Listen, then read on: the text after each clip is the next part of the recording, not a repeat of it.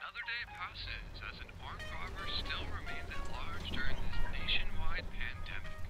Victims that have survived this encounter claim he's a tall male suspect armed with a Colt 45 handgun.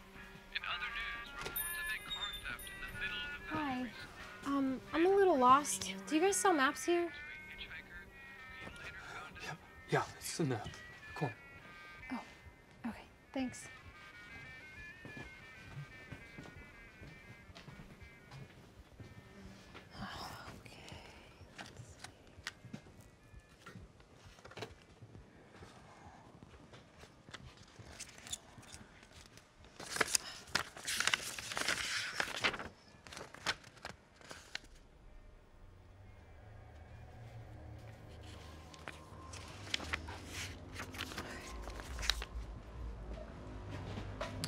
I found it.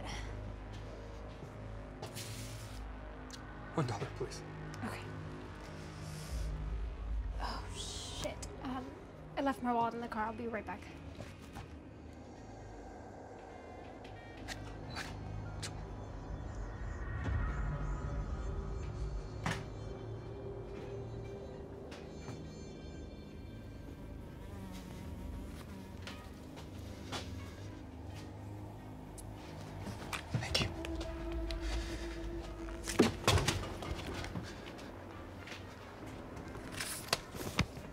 Have a nice day.